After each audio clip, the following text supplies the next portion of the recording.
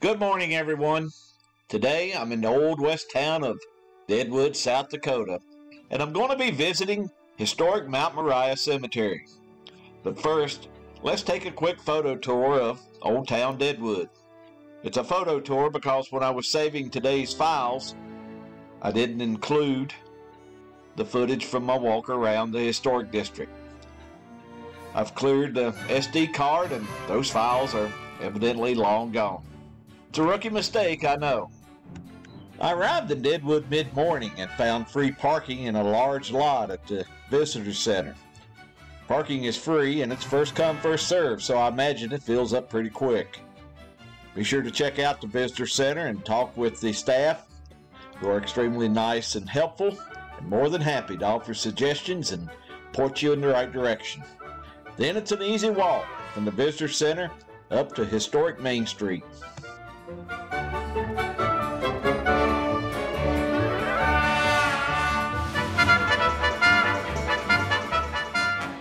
Deadwood is probably best known as the site where Jack McCall shot Wild Bill Hickok in the old number 10 saloon, while Wild Bill was holding what has become known as the dead man's hand of aces and eights.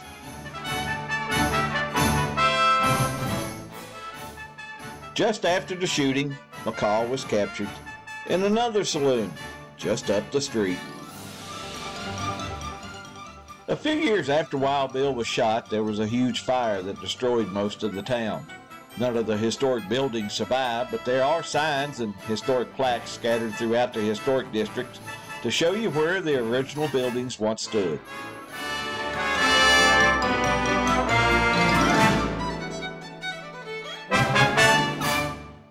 Make no mistake, Deadwood is a tourist town.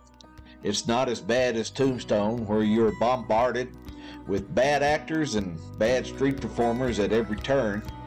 While there are characters and performers in Deadwood, they're not constantly in your face. I actually enjoyed my visit to Deadwood and spent a lot more time here than I did in Tombstone.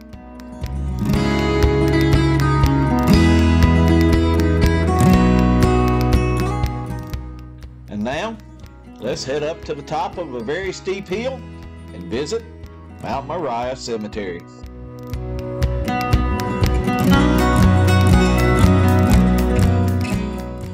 Mount Moriah Cemetery is at the top of a very steep hill overlooking the town of Deadwood. While I was at the visitor center, I asked a member of the staff if I could walk to the cemetery from the historic district.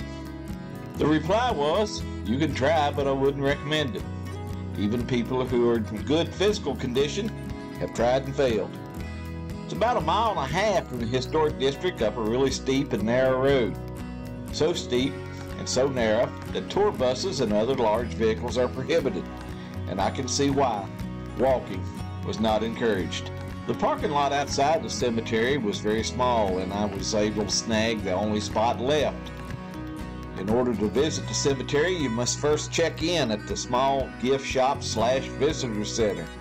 There's a fee of $2 to enter the cemetery, but they give you a map that will help you find some of the other notable people buried here. It's a short walk of about a hundred yards or so down a paved road to the graves of Calamity Jane and Wild Bill. You can see their graves from the road, but if you want a closer look, you will need to take the walkway up some stairs to see the statue and the grave markers up close. Mount Moriah Cemetery was founded in 1878 and is the final resting place of about 3,600 people. Of those 3,600 graves, only about a third of them are marked. You see, in the early years, there were two cemeteries in Deadwood Inglewood Cemetery and the Catholic Cemetery.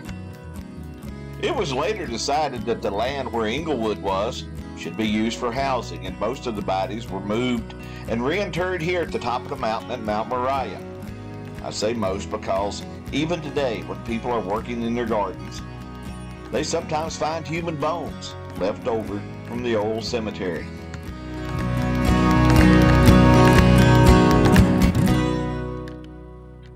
As you walk up the stairs to the graves of Wild Bill and Calamity Jane, you come to the grave of Potato Creek Johnny, who was somewhat of a Deadwood folk hero.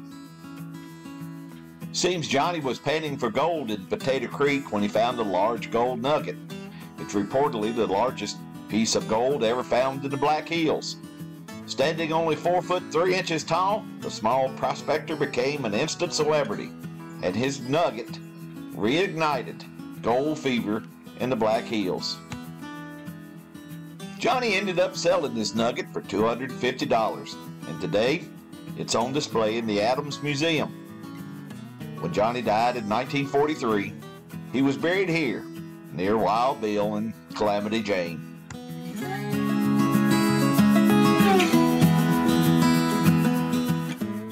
And here is the grave of James Butler Hickok, who was born on a farm in Illinois on May 27, 1837.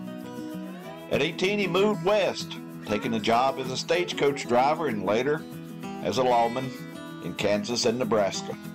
He fought for the Union during the Civil War, where he gained a reputation as a top scout and marksman.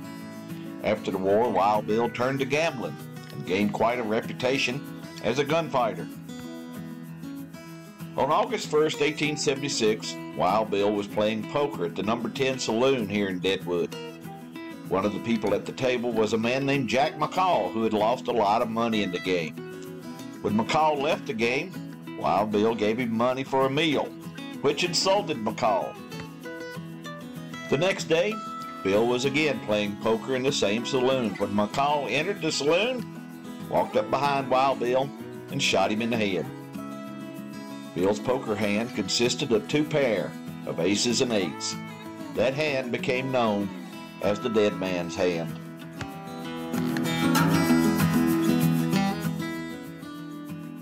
A friend of Wild Bill's named Charlie Utter claimed his body and arranged for a funeral on August 3, 1876. By all accounts, it was a grand affair, with most of the town in attendance.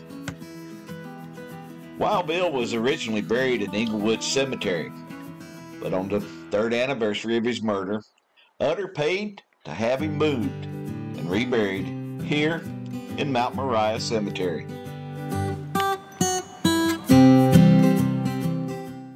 In 1891, a sandstone bust was placed at Bill's grave. It soon became a tourist attraction, and souvenir hunters began chipping away at the bust. And by 1903, when Calamity Jane was buried here, almost nothing was left. What was left of the original bust was removed is on display at the Adams Museum. In 2002, the current bronze bust was placed at the grave. It was created by a local high school teacher named David Young and is said to be a replica of the original bust.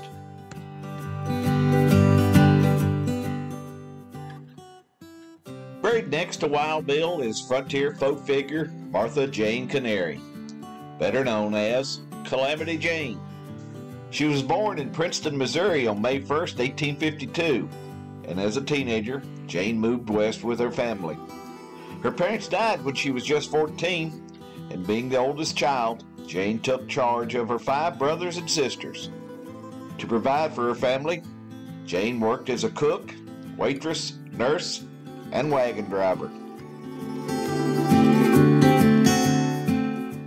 In 1874, Jane took a job as an Army scout, and during one of the campaigns against the Indians, an Army captain gave her the name Calamity Jane. The name stuck, and in 1876 she arrived in Deadwood, where she occasionally worked in one of the brothels.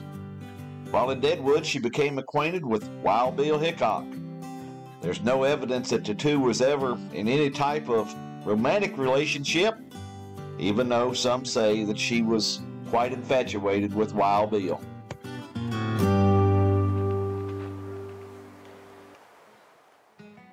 After Wild Bill's death, Jane remained in Deadwood for a few years before buying a ranch on the Yellowstone River in Montana. She later married a man named Clint Burke, and they moved to Colorado where she ran a hotel. In 1893, Jane took a job with Buffalo Bill's Wild West show. She worked with Buffalo Bill for a couple of years before returning to Deadwood in the spring of 1903. On the trip to Deadwood, Jane fell ill and upon arrival took a room in a hotel. Over the spring and summer, Jane's health continued to deteriorate, and on August 1st, 1903, Calamity Jane passed away.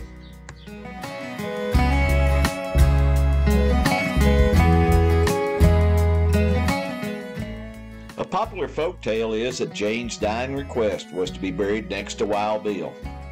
Another version is that Wild Bill couldn't stand her, and she was buried next to him as a joke. Regardless of which story you believe, Calamity Jane and Wild Bill are buried near each other here in Mount Moriah Cemetery in Deadwood, South Dakota.